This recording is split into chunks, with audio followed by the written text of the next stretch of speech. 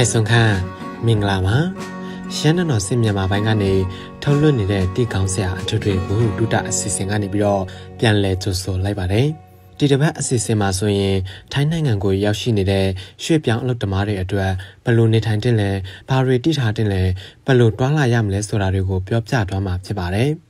မြန်မာနိုင်ငံမှာအာဏာသိမ်းပြီးနောက်ပိုင်းထိုင်းနိုင်ငံတွင်းကိုရွှေ့ပြောင်းလာခဲ့တဲ့သူတွေတနေ့ထက်တနေ့ပိုပြီးများပြားလာခဲ့ပါတယ်။ ထိုင်းနိုင်ငံအတွင်းမှာအလုတ်လာရလောက်ကင်နေတဲ့သူတွေအနေနဲ့တည်ထားတဲ့အချက်၅ချက်ရှိပါတယ်။နံပါတ်၁အချက်အလုတ်ကိုပြောင်းချင်တိုင်းပြောင်းလို့မရပါဘူး။အလုတ်ကိုပြောင်းဖို့အတွက်ဆိုရင်အလုတ်ရှင်တနည်းအားဖြင့်တထေးပေါ်မူတည်နေပါတယ်။လက်ရှိအလုတ်လုံနေတဲ့နေရာကနေအလုတ်ထွက်မယ်ဆိုရင်အလုတ်ရှင်အတက်ကကိုကိုလက်ခံမယ်ဆိုတဲ့အကြောင်းကိုလက်မှတ်ထိုးပြီးမှလက်ရှိအလုတ်ကနေထွက်ခွင့်ရမှာဖြစ်ပါတယ်။ ဒီလိုအလုပ်ပြောင်းဖို့အတွက်ဆိုရင်လည်းအလုပ်ဓမ္မရေးရာရုံးမှာအလုပ်ရှင်အတက်ကတွားရောက်လက်မှတ်ထိုးပေးရမှာဖြစ်ပါတယ်။နံပါတ်1ရက်60တရင်ပို့ရက်60တရင်ပို့ကလည်းထိုင်းနိုင်ငံမှာအလုပ်လုပ်ကန်နေတဲ့သူတွေအတွက်အရေးကြီးပါတယ်။ရက်60တရင်ပို့ဖို့ကတတ်မှတ်ထားတဲ့ရက်ရက်8ခုနှစ်ရက်နောက်ခုနှစ်ရက်ကြိုပြီးတော့တရင်ပို့လို့ရပါတယ်။နောက်ကျမယ်ဆိုရင်တော့တရက်ကိုဘတ်ငွေ900တန်ငွေရက်ခံရမှာဖြစ်ပါတယ်။ တကယ်လို့ရက်60တည်းမပို့ဘူးဆိုရင်ကိုဗီဇာတက်တန်တိုးတဲ့အခါမှာတက်တန်မတိုးပေးတော့တာတွေမြန်မာနိုင်ငံကိုပြန်ပို့တာတွေထိုင်းအစိုးရကပြုလုပ်သွားနိုင်ပါတယ်။နံပါတ်3အခြေခံလစာ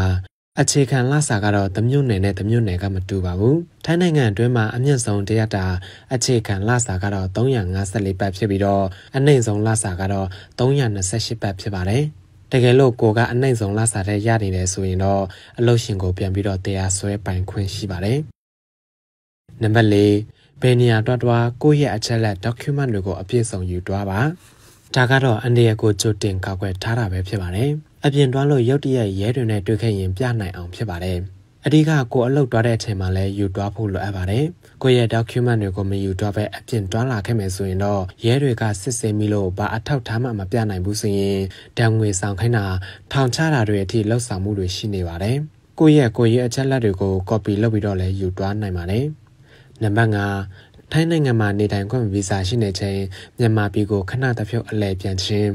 တကယ်လို့တင်ကထိုင်းနိုင်ငံမှာတရားဝင်နေထိုင်တဲ့သူဖြစ်နေတယ်ဆိုရင်တော့မြန်မာပြည်တွင်းကိုခဏတစ်ပြုတ်ပြန်လဲခြင်းနဲ့ဆိုရင်လည်းပြန်လို့ရပါတယ်။ဒါပေမဲ့ကုန်ကျစရိတ်တော့အနည်းနဲ့အများတော့ရှိနေပါတယ်။နေအိမ်ပြန်ဖို့ပထမဆုံး immigration ရုံးမှာ re-entry လုပ်ပြီးတော့ပြန်ရမှာဖြစ်ပါတယ်။ re-entry ဖို့ကလည်းတစ်ခါပြန်ရင်ဘတ်ငွေတစ်ထောင်ကုန်ကျမှာဖြစ်ပါတယ်။တကယ်လို့ကိုက re-entry နဲ့ပြန်မယ်ဆိုရင်တော့အချိန်မရွေးပြန်လာလို့ရပါတယ်။ ဒါပေမဲ့ပြန်လာမယ်ဆိုရင်လည်းကိုဗီဇာတက်တမ်းမကုန်ခင်အထိတော့ပြန်လာဖို့လိုအပ်ပါတယ်။ဒါတွေကတော့ထိုင်းနိုင်ငံတွင်းမှာအလောက်လာရောက်လောက်ကန်နေတဲ့ရွှေ့ပြောင်းအလုပ်သမားများတွေတည်ထားတဲ့အခြေခံအချက်အလက်တွေပဲဖြစ်ပါတယ်